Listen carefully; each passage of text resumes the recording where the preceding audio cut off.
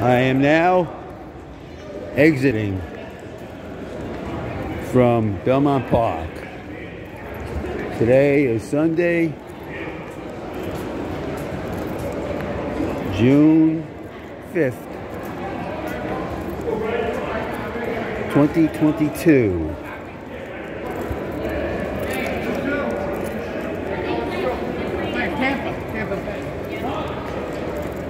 There are still some customers left in the stadium. I guess they'll be making other bets at other races through simulcast. Anyway, I'm through.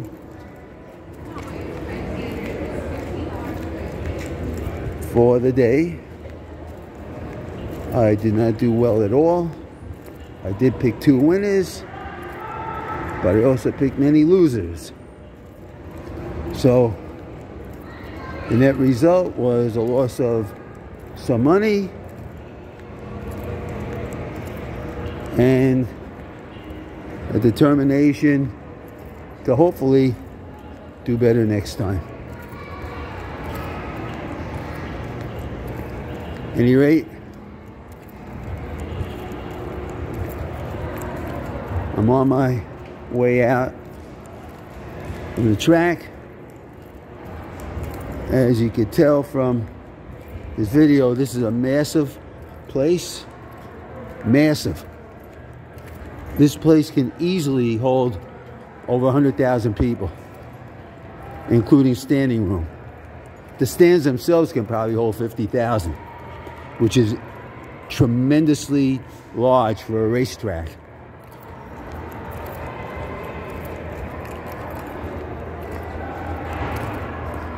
Uh, next weekend will be the Belmont Stakes. And race fans are very excited about that. It's always the biggest race of the year in the United States. And it's known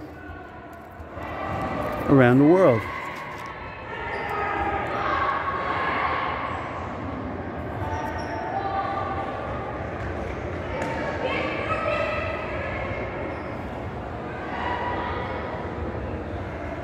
yeah, little just uh, doing some experimentation with the, with the camera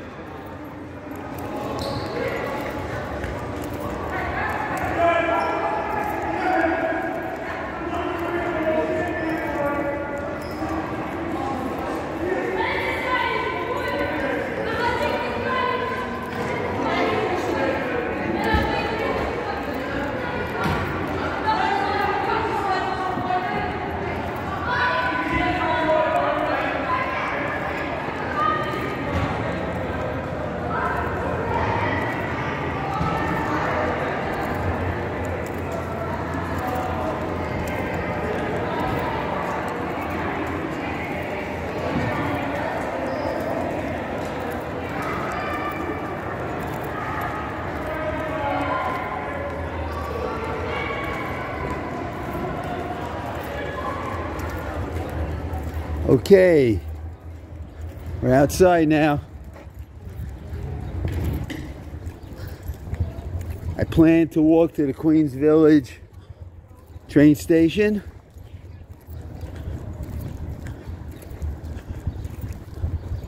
And that's what we're going to be doing.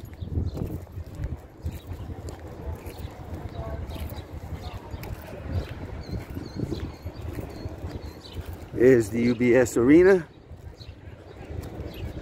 Here's the track.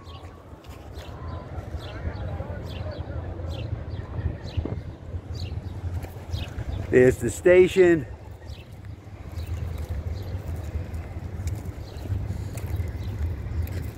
And I'm glad that you are joining me in this walk.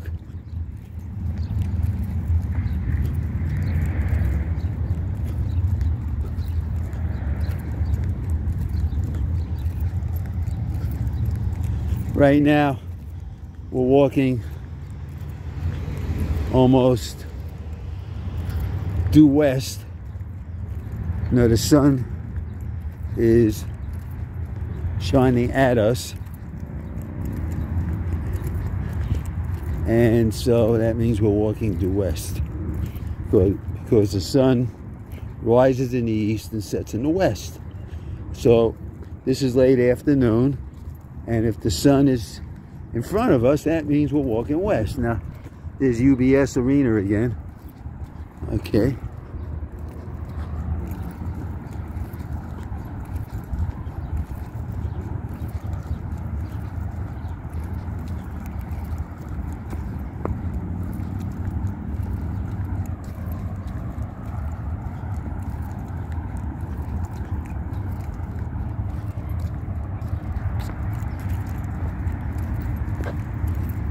This area used to be a parking lot.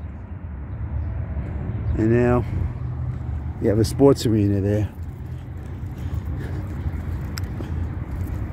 I'm astounded over how huge amounts of money can be expended to build a sports arena while there are people living on the street in New York City and elsewhere. But that opens up a, a political can of worms. See, this is this is the um, exit from the highway, so got to watch out for automobiles.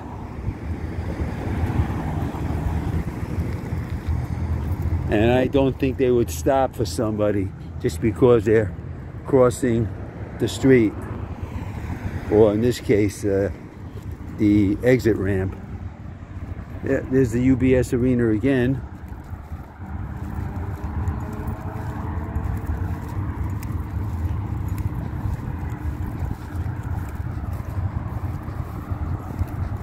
There's some electronic equipment. You gotta watch where you how you walk here, have to be careful. All kind of ruts and rocks and objects and whatever you can step on and sprain your ankle or at least create a very annoying feeling and right now we're headed towards Hempstead Turnpike is it Boulevard which becomes Hempstead Avenue once you cross over into Queens.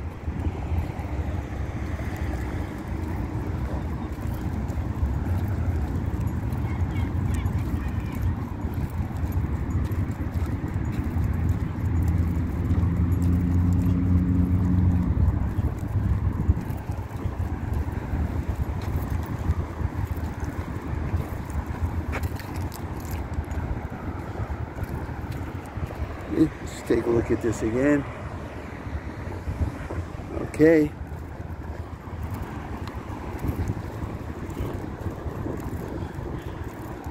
Thankfully, the weather is nice, sunny, warm, but not blazingly hot. Humidity is relatively low. So that's that's that's good it relates to walking and, the comfort level in general. You see, now we're walking in the direction of the sun. These were walking west. This is a an entrance ramp to the Cross Island Expressway. There's cars, gotta wait. A lot of cars are gonna wanna enter the ramp and they're not gonna wait and they're not gonna stop to let a pedestrian uh, cross, cross the street, cross the ramp. So I gotta wait until uh, the no walk uh, signal becomes walk signal. And meanwhile, as you can see, despite the very high price of gasoline today, it doesn't stop people from driving. there's all kind of reports of get of hardships as a result of the high price of gasoline. But as you can see, a lot of cars are on the road. It's not stopping people from driving and burning up gasoline.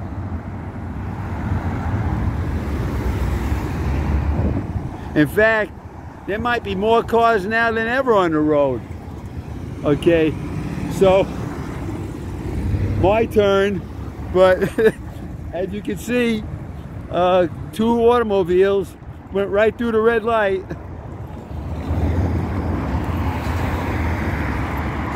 Now, this is an overpass. Okay, this Hempstead Turnpike or Boulevard. Here's the highway.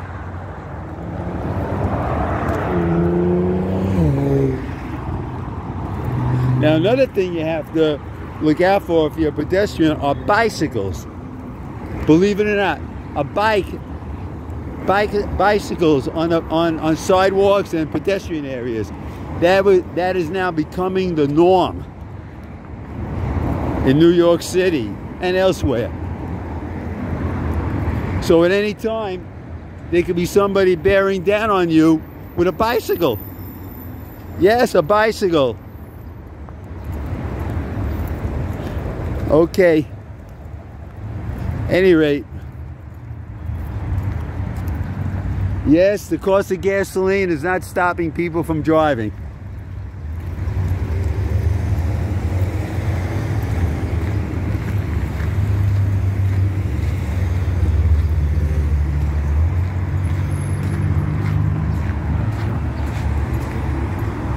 Okay.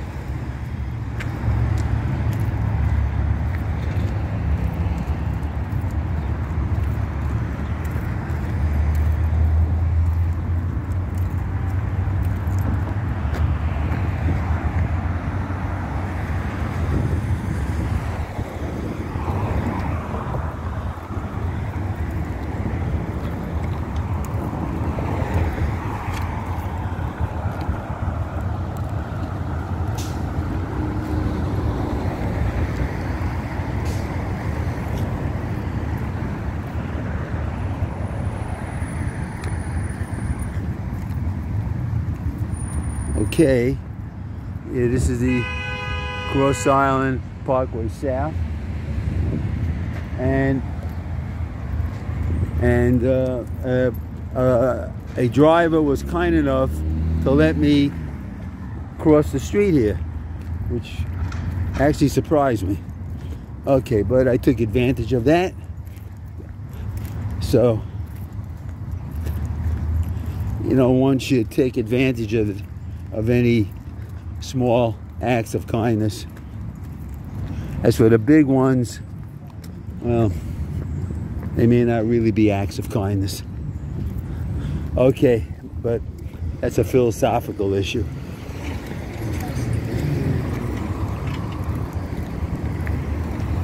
Okay.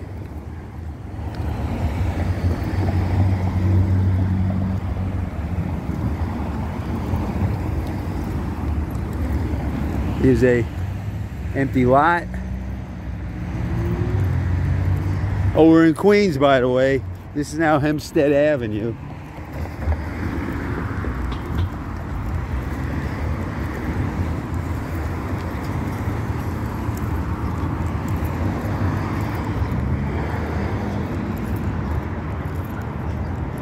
is a here's a bar. Looks like a very nice nice establishment. And this is a, a street. Okay, I have Okay.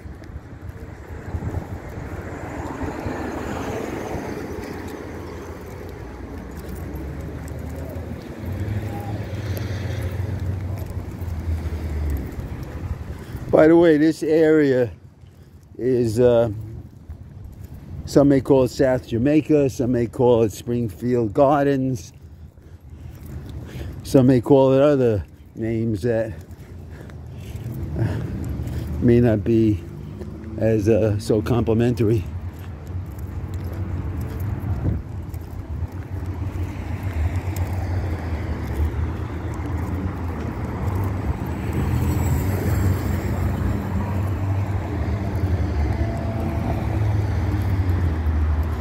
Okay, this is 222nd Street.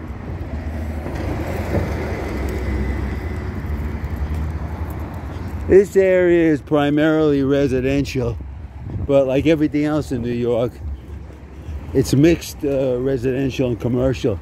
There are very few areas in New York City anymore that are strictly residential. The zoning laws have been so drastically amended as to make uh, the concept of a strictly residential area in New York City obsolete, passe, history, whatever. Oh, there's one of the nice buses. Oh no, that's a city bus. Right. It's not in service, by the way. What else is new, right? Not in service. Okay. Now we're crossing the street again. Another street. All right, this street is uh, 221st Street. Okay.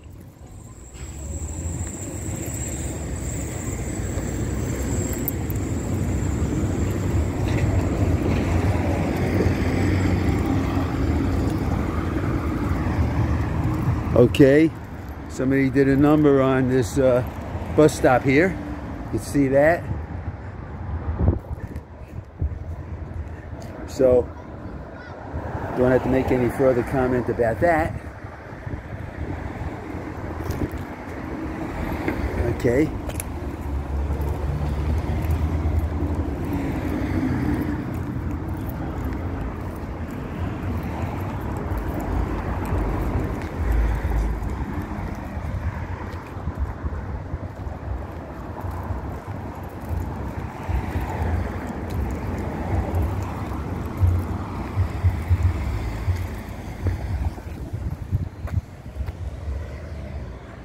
Okay.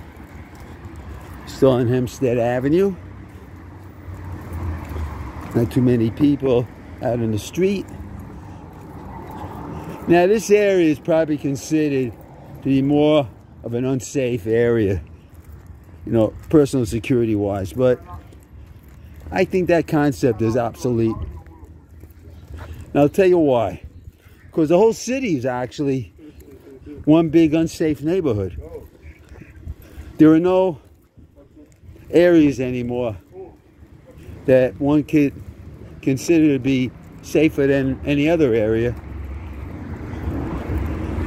because of all kind of changes in demographics, demographics, social relationships, politics, whatever. You know, it's a multifaceted reason. I, and I really am in no position to really espouse that in detail.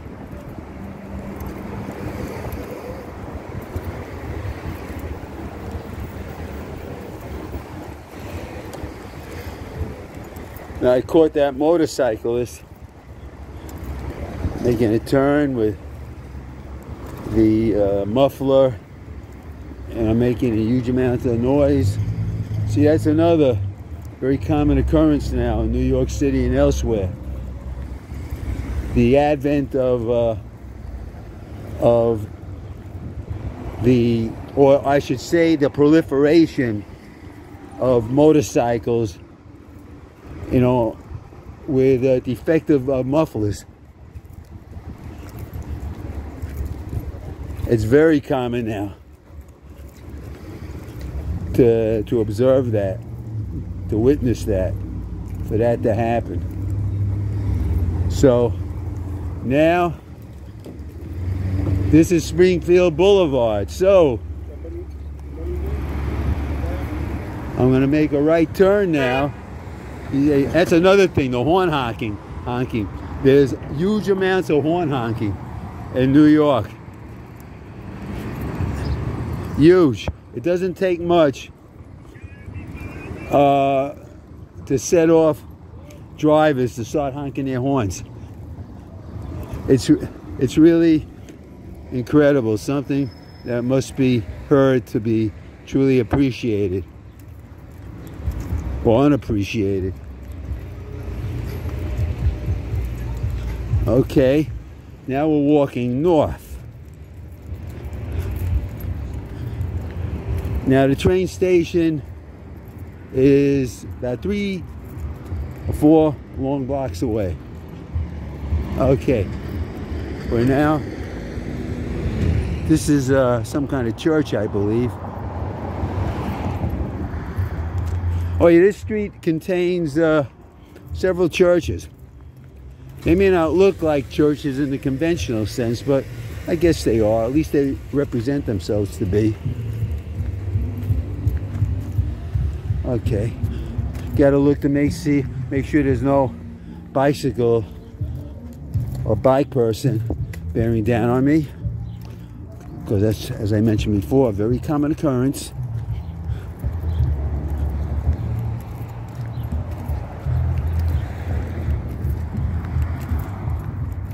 Okay.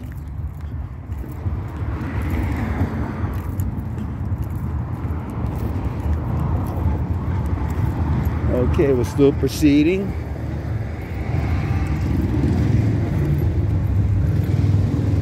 There's some kind of school, or maybe it's just a school. Okay, could be a public school, could be a private school, who knows. This is 100, 100th Avenue.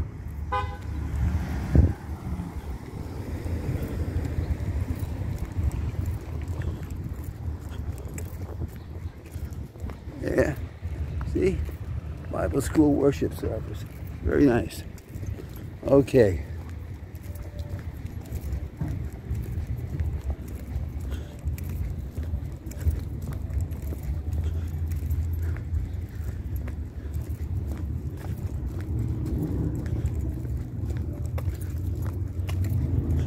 Now, you may have asked yourself, why is this fellow, meaning me, walking to the Queens Village Station when they have a station right next to the track?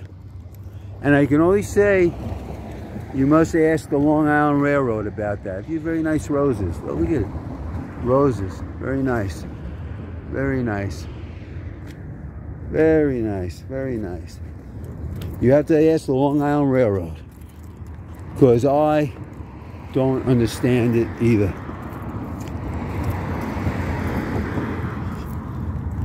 Now, in a way, I have a vested interest in in that subject as I go to the track, and for me, it would be helpful if if Long Island Railroad provided more train service to the track, but they don't. And there's nothing I, as an individual, can do to alter that. So it's just the way it is. Okay, in the meantime, okay, no bike. Okay. Station isn't too far away. There's the tire place. Con they're constantly busy. Never been, never, never gone by this place where they're not busy. After all, don't don't automobiles need tires? Answer to that question is yes, they do. They do need tires. That's why you have a tire place. Now, I think I'll attempt to cross the street. As you can see in the video, there is, of course, traffic. And this is despite the high level of gasoline. It does not stop people from driving. It's incredible. It's incredible. Okay.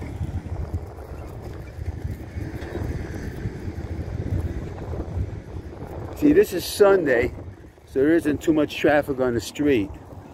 But I can assure you, Monday through Friday, this street is very crowded with automobiles. And this is why the price of gasoline is supposedly escalating to the point that it's now a hardship for people. If it is, it hasn't yet affected their willingness to drive a car. Okay? So,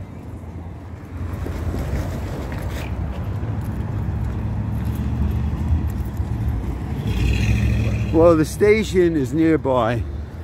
It's next block. So,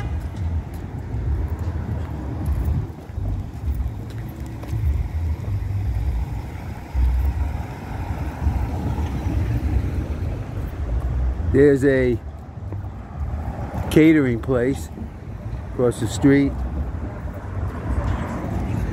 There's a empty parking lot. Long Island Railroad, daily commuter parking, $10 cash only. Okay. No standing anytime. Meanwhile, there's a car standing. Oh, that's another thing in New York City. Uh, enforcement of traffic laws and parking laws is spotty at best. Spotty. Meaning it's haphazard. And the laws are haphazardly enforced. Almost like on a selective basis, but that's all speculation. any rate, this is uh, the under the underside of the station. Uh, above us here are the actual railroad tracks, the Long Island Railroad. And there's a park across the street where people, usually men, hang out from time to time. And on the other side of the park is Jamaica Avenue. And this is the station. And the next train headed west is in 42 minutes. So I have 42 minutes at 6.35. So, 42 minutes more to go. And I think at this point, I'll turn off the video.